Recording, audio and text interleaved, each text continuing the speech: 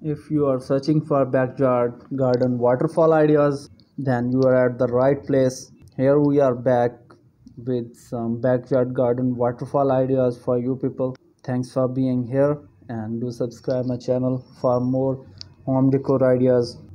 Your garden may already be your favorite place to relax with a good book, but you can make it even better by adding a small garden waterfall to it waterfall are considered to be source of mindfulness and tranquility in many cultures. So having one in the comfort of your own home could be very helpful in reducing stress and anxiety after long days and weeks at work take a look at your garden waterfall ideas to get inspired and design the mini waterfall of your dream. If your garden is small and packed with plant as it don't despair, you may still find some space to create a waterfall, a small one, stacking up some stone in the corner of your garden will create the base of your waterfall. Now you need to hook up a small pump to get the water trickling from the top of your stone structure.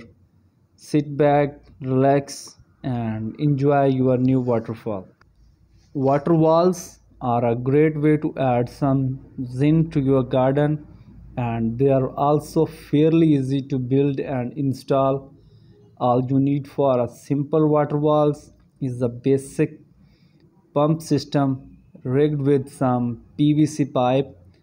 Add a plastic bucket to collect water and you are good to go of course.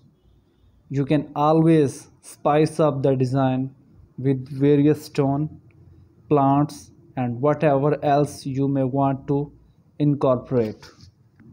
If you have a pond in your garden already if so you can turn it into an even more attractive waterscape by adding waterfall to it there is a number of ways to do that and you can put all your creativity to good use and uh, create a unique waterfall designs with bricks piece of wood stones and maybe even flower pots or an aquarium.